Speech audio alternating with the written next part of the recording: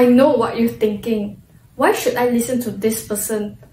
But have you thought about if there's anything you can do for the college to make it better? What will it be?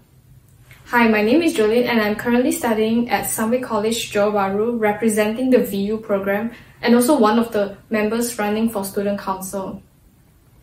Sunway College isn't the only school that I've attended. However, one of the few things that I noticed about the college is that most students doesn't know that student council exists.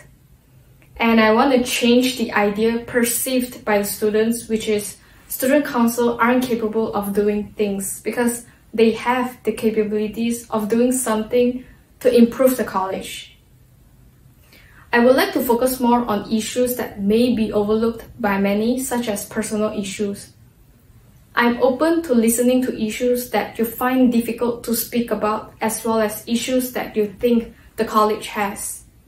Thomas Edison once said, If we did the things we are capable of, we would astound ourselves.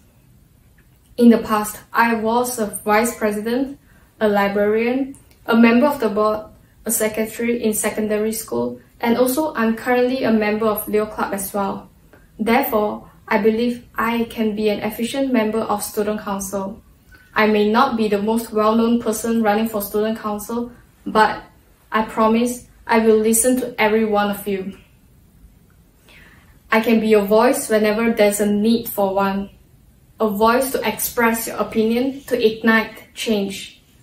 A voice to be reckoned and a voice to lead. You matter, your opinions matter. With my experience, together with other student council members, I wish to listen to your concerns and try my utmost best to address them. I care about your voice and make sure that each of you guys feel represented. Once again, I'm Jolene and thank you for listening.